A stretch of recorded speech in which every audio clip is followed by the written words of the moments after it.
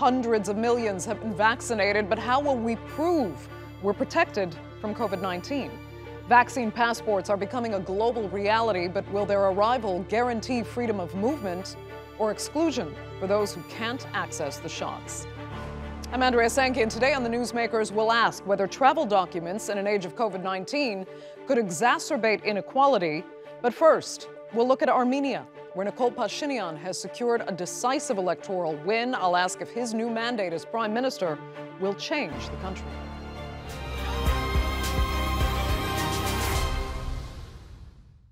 Well, off the back of a devastating military loss in Nagorno Karabakh, ironically followed by a landslide victory in a snap election, one of Nikol Pashinyan's biggest challenges now will be to build relations with Armenia's neighbors.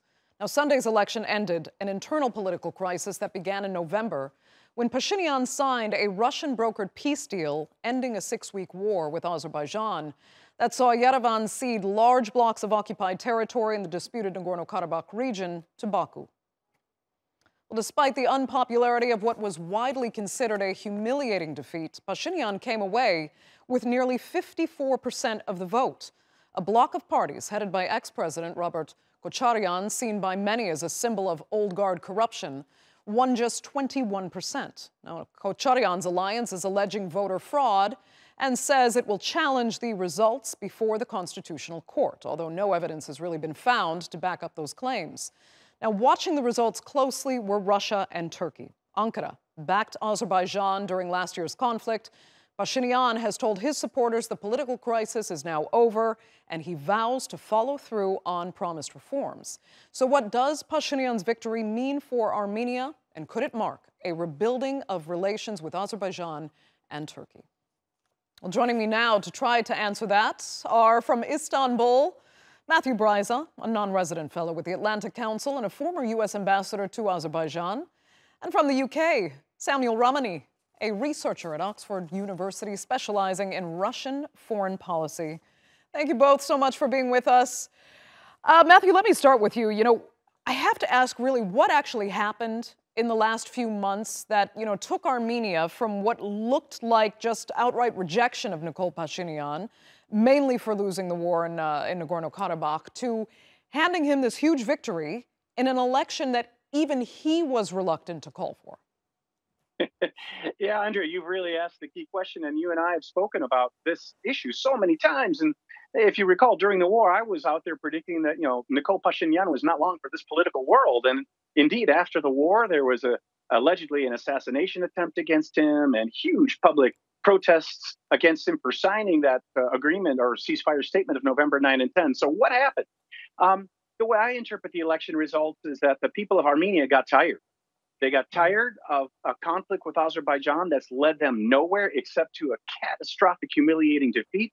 And maybe more significantly, they didn't want to go back to the old system. I mean, this really was a choice between Robert Kocharyan and the old, highly corrupt uh, Armenian system of the past that that led the people of Armenia to believe these myths of invincibility and that Azerbaijan couldn't fight and that you know greater Armenia was on the horizon with Armenia maybe going to reacquire territory even in Turkey. Um, so I think when the Armenian people began to feel the psychological dust, if you will, settle after the loss of that war, they realized going back to that old system of corruption, of no economic growth, of, of, of a shrinking population was not the way to go. And so they didn't love Pashinyan, but they liked the prospect maybe of a democratic future, as was evident in his Velvet Revolution, more than the old regime. Fair enough. Uh, Samuel, let me ask you I mean, in spite of the polls, you actually predicted that uh, Pashinyan would win. Uh, did you also see it as kind of just an outright rejection of the old guard as being a choice in this, in this term between the old and the new? Well, I think that it was more the scale of Pashinyan's victory that was something of a surprise because Kocharyan had a narrow but four to five point lead in the polls. Some polls showed Pashinyan ahead. No one really expected a landslide. But I would say yes, it is. It was a rejection of the former uh, Armenian system, absolutely, which the Kocharyan represented and Serzh Sargsyan represented. And the mistrust of that system was so high that even when Robert Kocharyan said that he could negotiate a better deal on Karabakh than Pashinyan had, nobody really believed him. Mm. And also, Kocharyan was seen as uh, basically overtly asking for Russian interference in the election as well and asking for Russian assistance. And uh, as many would recall, the Russians really did not come to Armenia's aid during the recent conflict, and he was seen as trying to erode Armenian democracy from that respect. Right. So that's why I think that we should be uh, viewing this as a rejection of the old system. Okay, fair enough. Let's look forward then. And Matthew, I'll come back to you. I mean, how much can Armenia's relationship, in particular with, with neighbors Turkey and Azerbaijan, move forward now? Uh, most importantly, you know, will Armenia be able to move on from the past, as you've highlighted, or will it kind of continue to somehow either demand that the United Nations reverse its recognition of Nagorno-Karabakh as Azerbaijan, or uh, that Turkey change its stance on the events of 1915? I think this was the watershed moment in Ar- Armenian politics where if, if the body politic of Armenia wanted to do what you just said, Andrea, go back to revisiting 1915, go back to revisiting the, the uh, ceasefire agreement that ended this war, and, and basically brought Armenia back in line with international law. Um, I think Kocharyan had won, we would see continued instability and Armenia rejecting the open doors being offered by both Turkey and Azerbaijan for Armenia to reintegrate into the regional economy. So Pashinyan having been the one who did sign that agreement, and by the way, the only agreement that was available because they lost the war in Armenia. So by by choosing Pashinyan, I, I think the body politic in Armenia has said, okay, let's let's accept those invitations of Azerbaijan and Armenia to build a new future together. Let's embrace the, the final paragraph of that November 9 and 10 ceasefire statement, which says that all transportation linkages are reopened. And let's embrace mm-hmm. there was a January a January 9th agreement as well, where Azerbaijan, Armenia, and Russia formed trilateral working groups at the deputy prime ministerial level to develop projects, especially in transportation, uh, to restore the linkages regionally. So I think this is what the Armenian people have chosen: push to push on an open door, if okay. you will, from Azerbaijan and Turkey. Uh, that's that's that's that's good to hear. I mean, but uh, let me let me ask um, Samuel. How much will Armenia and its own development actually miss out on if it doesn't uh, reconcile with its neighbors at that at this point? I mean, we have to bear in mind that it's a it's a landlocked country uh, that's easiest to access only via Russian based airlines. Um, how much does it stand to actually gain if it reconciles with, with Turkey in particular? Well, I think that Armenia stands to gain quite a lot because right now Armenia eh, has achieved sometimes uh, relatively high levels of economic growth. For example, in the year before Nikola Pashinyan was uh, installed in 2017, they were averaging 7.5% economic growth. They've got a pretty strong investment climate. The State Department was noting that they're in the recent report that they've got a lot of uh, liberal economic institutions that could be open for investment if they could take care of the cronyism and the corruption. Mm. So this is a country that's got a lot of growth potential, but it's really being impeded by its overdependence on a single alliance with Russia and a sclerotic Eurasian Economic Union. And if it were to open up to its neighbors in a more uh, integrated fashion uh, in terms of Eurasian or Caspian integration, you'll be able to see a lot more investment coming into the country and a lot more connectivity. And Pashinyan's election should also assuage international investors about a reheating of the Nagorno Karabakh conflict, too. But will Armenia follow that course? Will Armenia accept Turkey's plan, which is to integrate Georgia, Azerbaijan, Armenia, Iran into this kind of Caspian Eurasian interconnected economic system? I think we're far away from that. Matthew, do you also think that's far off? I do. I do. And I think there's a lot of uh, geopolitical uh, hesitancy outside the region. I mean, whether it be in the United States or in, in European capitals about having Russia and Iran integrated in that way. Um, and I think, you know, we, we, still need to give Armenia some breathing space. I mean, psychologically, having lost the war uh, was a catastrophe, probably that's the worst since 1915. And so they've taken a big step now in embracing a democratic future and one that at least doesn't want to reignite the conflict with Azerbaijan and in, in principle accepts the, the November 9-10 agreement. That's a big step. And as Samuel was suggesting, it may not hold. I mean, Armenian politics may shift again, but for now, for now, Armenia has taken a big step to at least accept in principle the need to reintegrate. Whether that grandiose scheme ever comes to fruition, that depends on factors well beyond the control of Armenia. Mm, okay. Uh, just to be clear quickly, Matthew, I mean, uh, you do not foresee any kind of return to conflict in Nagorno Karabakh, correct? I, I do not foresee that. Yeah, I think there are plenty of people in Armenia who would like that. and they're the ones who lost the election. and and there's there's no way Armenia could really relaunch a war against Azerbaijan because it, it no longer has the military capability to do so. Azerbaijan destroyed it. Right. Okay, Samuel, let me ask you this. Let's look at Russia. Russia, as you know, is, is very protective of its sphere of influence, you know, and that includes, of course, former Soviet states uh, like Armenia. So, does Russia really welcome reconciliation between Ankara and Yerevan and, and Baku by default? Uh, or would Moscow kind of see that as, as a threat?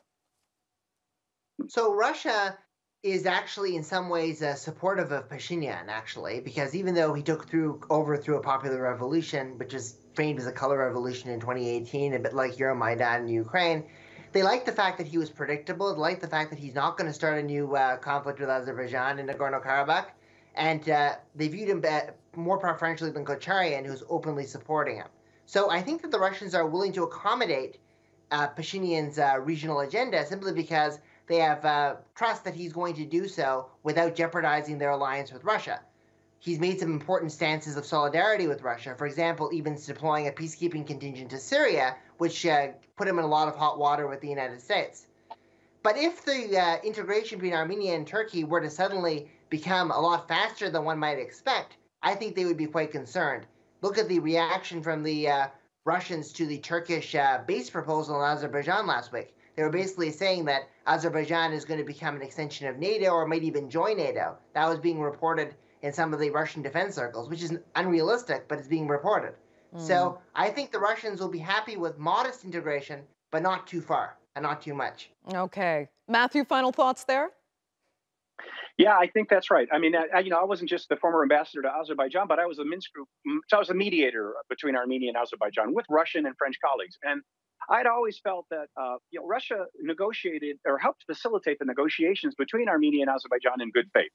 Um, what that reflected to me was not that they necessarily wanted the conflict resolved, and they certainly don't want Armenia and Turkey to have a strong relationship, but Russia wanted to keep the pot stirred and but not boil over and into a war. So they're positioned for that right now. I think in the beginning or during the war, they really disliked Pashinyan because they thought he was reckless.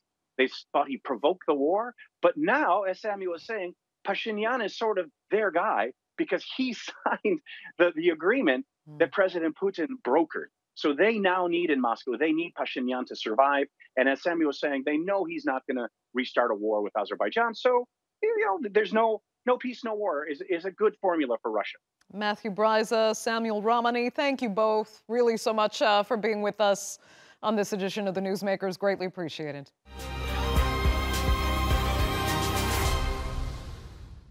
In the near future, not being able to provide proof of a COVID 19 vaccination might not only get you barred from hopping on an airplane, it might stop you from eating in a restaurant or going to a concert.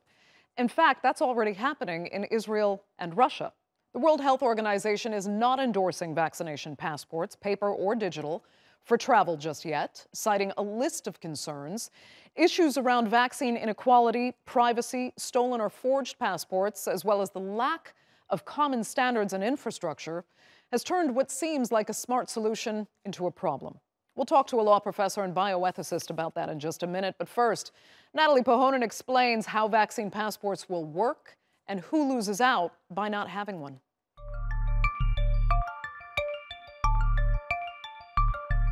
Heading to the airport and jetting away has seemed like a distant dream during the pandemic. For some of us, it's now turning into a reality. But there's a big change coming to how we'll get around in this COVID 19 world, because to check in, it's likely we'll need to show proof of vaccination. That's where vaccine passports come into the picture. Like a regular passport, it'll be a form of ID with your name, birth date, and crucially, data about your vaccination status. In some cases, this will be in a digital form, accessed through a QR code. You might need to show it not only to head overseas, but perhaps even to go to a concert, football game, or a festival. But needing to prove your vaccination status to enter a country isn't new. Some nations require travellers to have a yellow fever vaccine before they're allowed in, and those details are recorded in internationally recognised booklets that look like this. Right now, there's no global standard for a COVID 19 vaccine passport, so some parts of the world are going ahead and creating their own versions. From July, the EU's digital COVID certificate system will go live across the bloc. It will contain health information that's uploaded by member states and will show proof of one of three things either you've been vaccinated, returned a negative PCR test, or recovered from COVID 19. The EU hopes these digital passes will help cross border tourism and trade. While getting vaccinated might not be mandatory, proof that you have had your jabs does come with incentives beyond your health. EU member Lithuania launched its own version of a certificate in May called the Freedom ID. It can be used to get around restrictions on attending cultural events or indoor dining. What is most important, probably, is that uh, we have to encourage people to get their vaccine. And this is an, an, incentive for, for those who are not yet uh, got their vaccine to get vaccinated. But there are concerns that requiring proof of a jab could create two classes of people those who've had access to shots and taken them, and those who haven't. And while vaccination campaigns have rolled out in many countries, particularly in the West, in other parts of the world, people are still waiting for doses to arrive. Which means that for millions of people right now, a vaccine passport is simply out of reach, along with any of the benefits that come with proving their vaccine status. Natalie Perhanen, The Newsmakers. Well, joining me now from Boston is Glenn Cohen. He's a bioethicist and law professor at Harvard University who recently co authored a paper called Digital Health Passes in the Age of COVID 19. Glenn, thanks so much uh, for being with us. You know, knowing you how me. many millions of people have had to, you know, prove that they were vaccinated for yellow fever uh, with their WHO booklet to travel in sub Saharan Africa, you would you would have thought that with technology today, building a global system for proof of COVID 19 vaccination would be relatively easy. Instead, it's been so elusive and so controversial. Why? Well, I think it's controversial in part because it splits two different things. One is whether to require people to show vaccination, and the other is how you require people. So, a lot of the political pushback has been against so called mandates. This idea that we are going to require it as a condition to enter a sporting event, to enter a country, to enter a workplace. And there's a real libertarian feel here that this is my body, I should make a decision. Also, these are relatively new vaccines, right? Their production system has been something we've seen in real time. And for many people, it's their first encounter with the ways in which medicine is done and drugs and vaccines are developed. And lastly, I think, you know, there is a strain of kind of COVID denialism and mm. skepticism mm. and conspiracy theorizing that's also doing some of the work here. Uh, can I just ask you quickly? I mean, what do people have to be so scared of uh, when it comes to privacy concerns, given, you know, our information is already spread out across so many different platforms? It is. This is true, right? But uh, you know, people have a very special feeling about their health privacy, and that of the mm. things we try to protect. When we think about our physicians, for example, we have the Hippocratic Oath, we have certain fiduciary duties with them, and I think people are worried about being exposed. Now, to be truthful, I think of all the information you could have about my health, whether I'm vaccinated or not, is relatively low level. You find that out, it's not like my life is going to go much, much worse compared to whether I have a disability or the like. Right. But I think people are just sensitive about this topic. And, and, you know, there's also, of course, the issues around who has access to the vaccine and which vaccine. How much discrimination might we be looking at according to access in poorer countries as well as wealthier countries' non approval uh, of vaccines, including Sinovac or, or Sputnik? This is, I think, the key ethical question, and that is the idea that there are people around the world who are literally dying to have a vaccine and have no access to it because of the ways in which we've distributed vaccines. That means what is already an injustice here might be compounded by the fact that not only do they not have a vaccine, but they can't get to one of our countries for work, for school, or the like. I do think the question about which vaccine should uh, qualify is a tricky one. My own sense, though, it is defensible to say if I have an approved a vaccine in my home country, then it's not one of the ones that should qualify for entry into that country. Okay. Uh, I have to ask you quickly. I mean, it's not just about privacy. There's also this issue that people have with with hacking. Uh, does having this kind of digital beta, database does it does it make us more vulnerable to hacking? I mean, am I being naive and not worrying at all about that?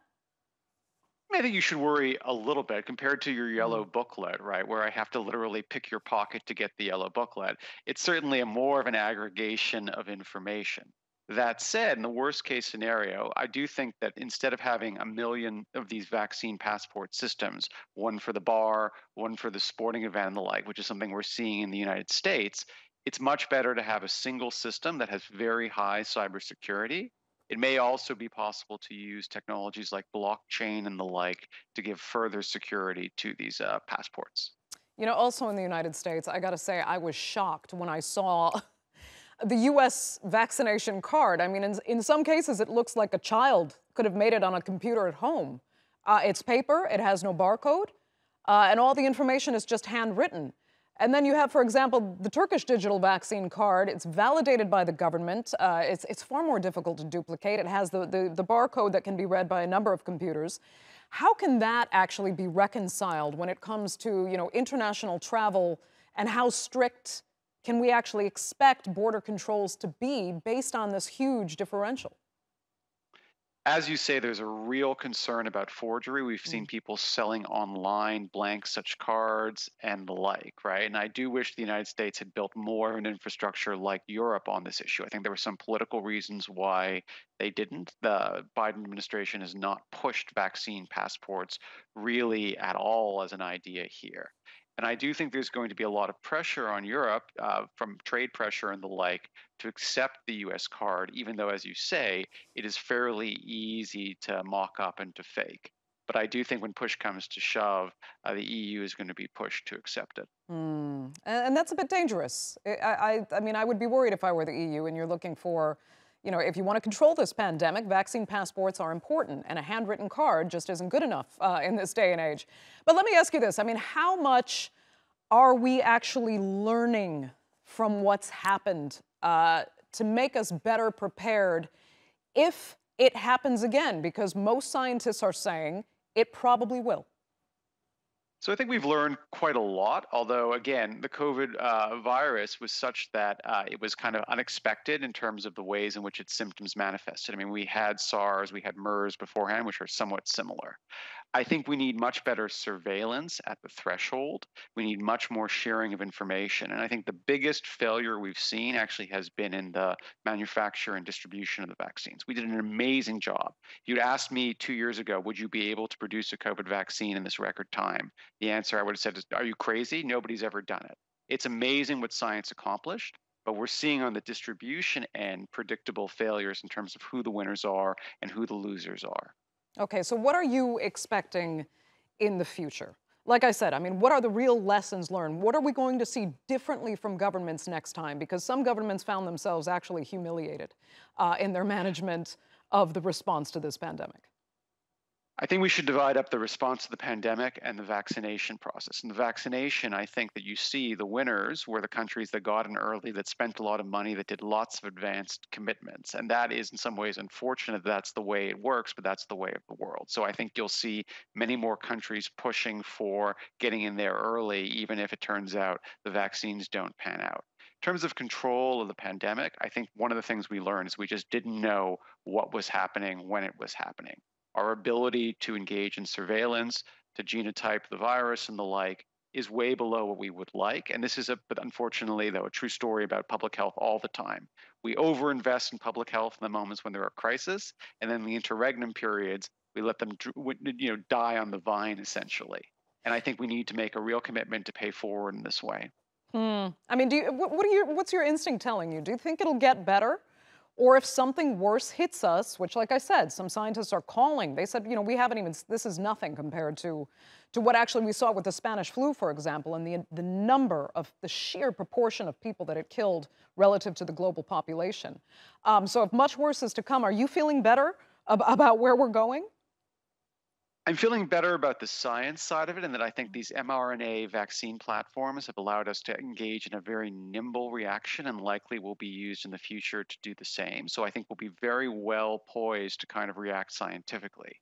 But I also sense a real sense of fatigue, and maybe more here in the United States than elsewhere, in that people are fed up at restrictions, even though these are restrictions that are saving many, many lives. And I have to say, the amount of kind of discounting of the lives of older people, about people with disabilities that I've seen during this pandemic, doesn't make me completely optimistic about human culture and human nature. Right. I mean, I'm just going to one last question on that because you say there's there's something specific about the United States. What is this resistance, and why does it seem to be getting worse? Part of the issue is that I think the entirety of the COVID 19 pandemic was politicized to a much larger extent. We were in the middle of a presidential campaign when this uh, occurred, mm-hmm. and I mm. think that's a problem. But in general, I think that there is a libertarian tendency in the United States relating to health and the government you know, it is not a coincidence that we are one of the few very developed countries that doesn't have universal health care in this country, right? We are a place that has resisted governmental entry into healthcare, and that has extended now to public health. To me, grew up in Canada originally, that is a huge shame, but it is a reality here. And this idea that my body is sacrosanct and there's nothing you can do to my body, and I will be the one to suffer and make decisions, just doesn't gel well with public health in this country. Right, but in this case, it's not about your body. It is definitely about the greater good and how your choices can effectively actually kill other people. I completely uh, agree with you, but that's not the way many people in the United States see it. There's also some skepticism about these vaccines and about this process, and I think it was uh, unfortunate in some ways. I think you know President Trump was the one who had this huge win, and I wish that people on that side of the aisle could kind of internalize that as a victory. But unfortunately, I think it's been politicized, and many people were skeptical that COVID-19 was real or was doing the kind of damage it's actually been doing. Glenn Cohen, what a pleasure to have you. Thanks so much uh, for being with us on the Newsmakers. Really appreciate your insight. And thanks, of course, to uh, our viewers for being with us as well. We'll see you next time.